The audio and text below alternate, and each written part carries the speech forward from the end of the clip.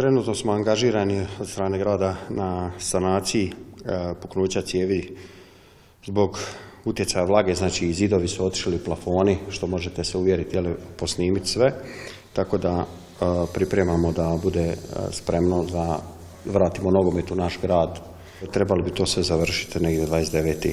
da bude primopredaja napravite i da, da klub može jel, izdati licencu za drugu ligu.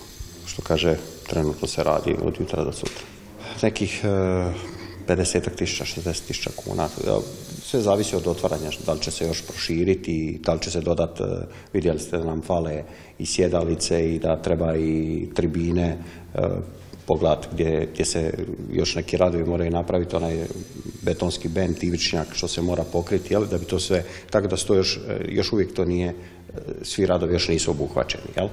E, da, da, idu obje svlačionice, znači kompletno uređenje, znači možete posnimiti što je vlaga napravila. Jer vlaga ili požar to je za građevinarce nešto najteže.